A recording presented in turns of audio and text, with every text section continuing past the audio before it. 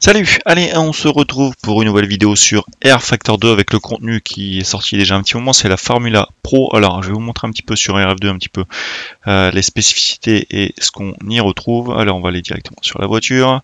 Voilà, j'ai déjà choisi ce modèle. Donc, on voit ici, on va aller dans Customize pour voir un petit peu ce qu'on peut modifier. Moi j'ai laissé de base, je vais être très clair avec vous, donc euh, au moins comme ça ça permet de, rouler un peu hein, euh, de façon assez simple.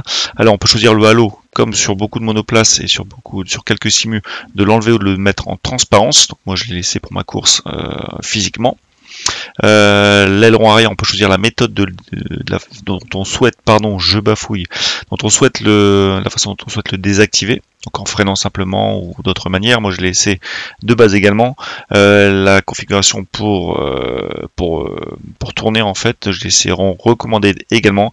Et le châssis rigide ou non, j'ai laissé également en standard. Donc voilà, voilà comment moi j'ai vu la chose.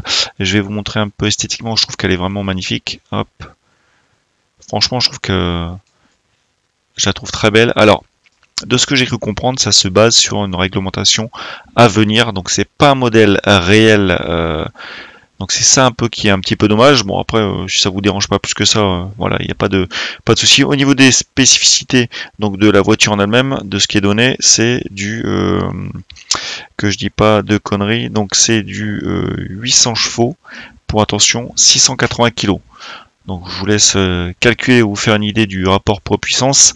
Vous allez voir, c'est quand même une machine qui envoie vraiment sévère et c'est pas simple de la tenir. Donc euh, qu'est-ce qu'on vous donne d'autre? Ça prend 18 000 tours minute. Voilà, mis à part ça, je pense qu'il n'y a rien de rien de plus. Voilà, donc c'est une réglementation qui devrait arriver. Donc voilà, ils sortent une voiture qui fait pas partie d'une catégorie spécifique. Donc euh, voilà, on peut voir, on pourra voir ce que ça donne sur la piste, mais en termes de réglementation, voilà ce qu'il en est, en termes de réglage, ce qui est disponible. Donc c'est un V10, voilà tout ce que l'on donne, il n'y a rien d'autre de, spécifique. En termes de livret, il y en a quelques-unes, ça va, il n'y a, a, rien d'extraordinaire, j'ai encore rien vu de dispo sur... Euh, sur les Department. Enfin, on peut faire des petites couleurs, on peut changer les couleurs. Vous voyez, il y a du rose, voilà, il y a des choses qu'on peut modifier. Bref, euh, on traîne pas plus et on se retrouve directement sur la piste. Donc le combo euh, que j'ai choisi, donc c'est cette voiture et sur le circuit de Zandvoort version 2020, assez compliqué, mais voilà, j'ai voulu faire un petit peu dans l'original et puis sortir un peu des sentiers battus et faire euh, proposer quelque chose d'un peu différent. Allez, c'est parti. Allez, on est parti sur le circuit de Zandvoort version 2020 et on est dixième, 8 minutes de course.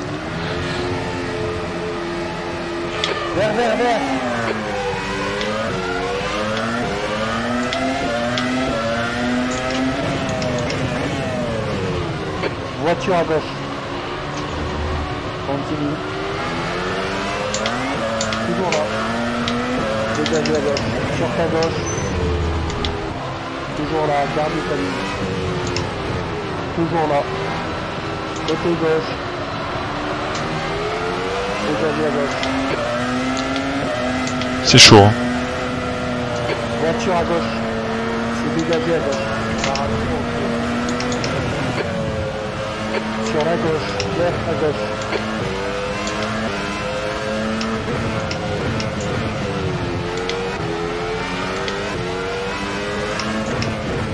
Côté gauche. Continue. Toujours là. Ah, c'est chaud. Hein. Dégagé sur la gauche. Ils freinent à des endroits où vraiment. Allez, moi, là ils sont à la traîne. Sur la gauche. Gauche, clair. Ton aéro est endommagé. Aéro endommagé, ça tombe bien. Sur ce circuit, j'en ai pas besoin. Allez-moi ça. Mais regardez-moi ça, le salopard. Alors j'avais loué les, les avantages de RF2 avec euh, cette IA qui se bagarre, qui protège. Mais il y a des moments où vraiment, eh bien, il change de trage de façon euh, trop soudaine en fait. Pourtant, j'ai baissé l'agressivité.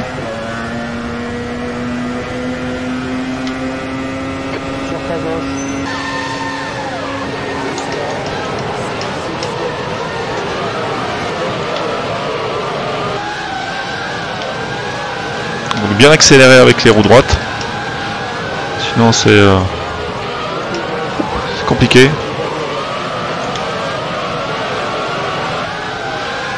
Pas simple hein, de se frayer un chemin.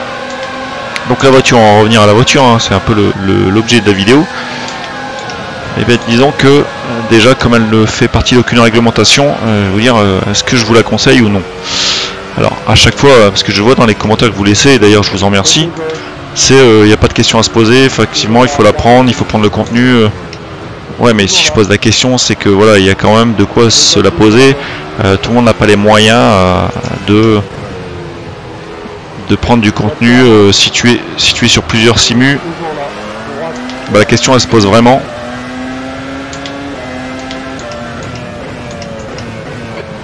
À droite, droite dégagée. Sur ta droite, droite dégagée. Sur la droite, droite claire. Allez, on a réussi à se frayer un chemin.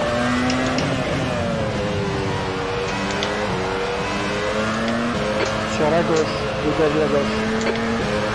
Il reste 5 minutes. 5 minutes de course. Allez, on va voir le DRS juste après. D'ailleurs, je vais faire un 1, 30 Donc moi je trouve que la voiture est vraiment intéressante. Pour qui aime la, la monoplace maintenant, bah, le problème c'est que bah, il faut pouvoir rouler avec. Alors il y aura je pense système de compétition des RF2, ça c'est une évidence. Maintenant, voilà, il faut encore euh, rouler dessus. À l'IA ça peut être intéressant, très honnêtement. Moi j'adore en tout cas en termes de, FFB, en termes de, modélisation, en termes de bruit, les sons. Alors que lui était- il est parti au chou, Oh, il m'envoie avec. Je trouve ça vraiment euh, très intéressant.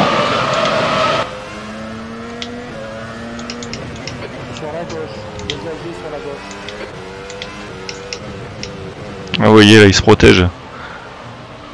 C'est Des fois un peu limite. 2010 Ah, DRS est dispo. Allez, on y va, on tente.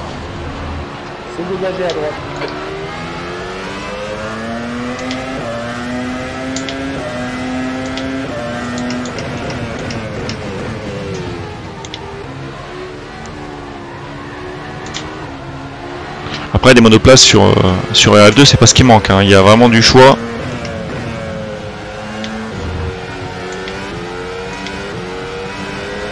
Le DRS qui va être pris dans ligne droite. Et là il est quasiment à l'arrêt. Et puis là le FFB qui change de- de- d'appui en fonction de l'inclinaison de la, de la piste. Ça c'est très fort.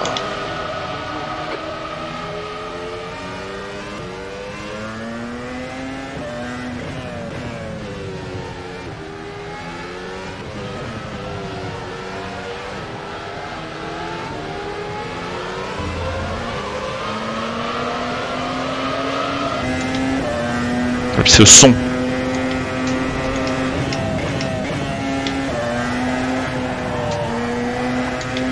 C'est assez délicat hein, comme voiture. Vous voyez là, j'ai failli partir. Et là, je suis parti. Voilà, ça c'est fait. T'es tout seul, t'as plus de repères, tu fais n'importe quoi. Est-ce que je vais réussir à en revenir? J'étais assez loin, heureusement pour moi.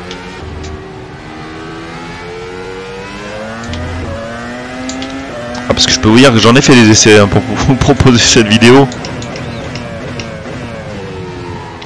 Parce que bah, il faut régler l'IA, il faut régler plusieurs choses. Ce circuit là il est très compliqué. Encore plus avec des monoplaces. Donc euh,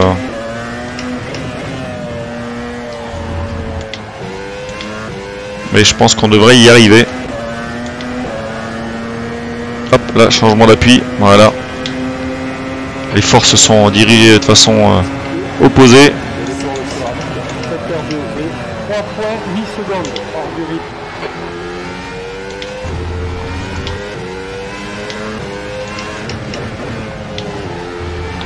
Après, ce n'est que entre guillemets 5 euros. Voilà, c'est toute la question. Je suis pas forcément euh, de là à vous la conseiller. C'est vrai qu'on compare avec la BMW M4C1 euh, qui est sortie je crois 15 jours de ça. On est en droit de se dire euh, est-ce que celle-ci elle vaut vraiment le coup par rapport au. Mais bon, RF2, le studio euh, 397 alterne le contenu souvent euh, payant et gratuit donc. euh,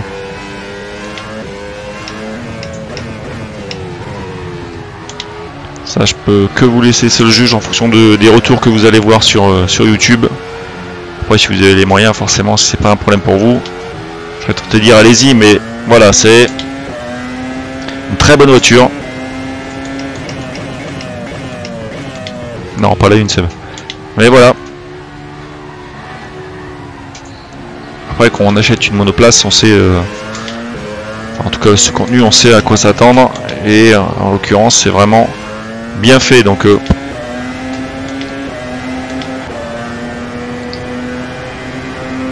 avec la réglementation du DRS en plus, donc voilà, c'est c'est du tout bon. Sachant que je me répète, hein, mais des monoplaces, il y en a plein sur le workshop de, ce que je vois, donc euh, même en gratuit, donc euh, voilà.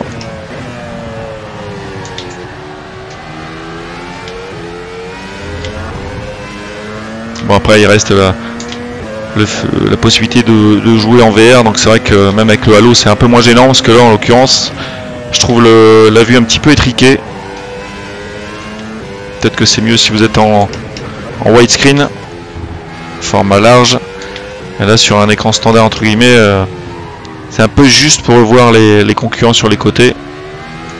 Mais bon ça c'est propre à toutes les quasiment à toutes les monoplaces. Donc c'est pas c'est pas un défaut en soi du mode, c'est juste voilà l'explication que ça peut vous poser problème. Alors Lia, je sais pas ce qu'elle nous a fait, elle est complètement dans les choux sur cette session, alors qu'habituellement j'avais du mal à les, à les passer. Voilà en tout cas ce que je pouvais en penser. N'hésitez pas à me dire vous dans les commentaires euh, ce que si vous avez acheté ce véhicule, si vous intéresse, et me dire euh, si vous l'avez acheté, ce que vous en avez pensé?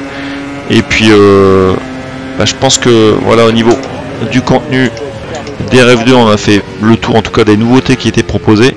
je devais pas acheter Monza, je l'ai acheté. Celle-ci je devais pas l'acheter, je l'ai acheté. Je suis faible que voulez-vous. Mais je vois que je suis pas le seul hein, quand je regarde un peu sur sur les réseaux et tout ça, les forums, je vois qu'il y a du monde qui achète le contenu euh, directement. Voilà. Est-ce que ça veut dire que c'est on est en manque de de, de contenu sur, euh, sur nos simus? Je ne sais pas, mais on aime bien en tout cas avoir les nouveautés. Voilà, allez, je vous laisse là-dessus. Moi je vous dis à une prochaine et puis euh, passez une bonne journée. Tchuss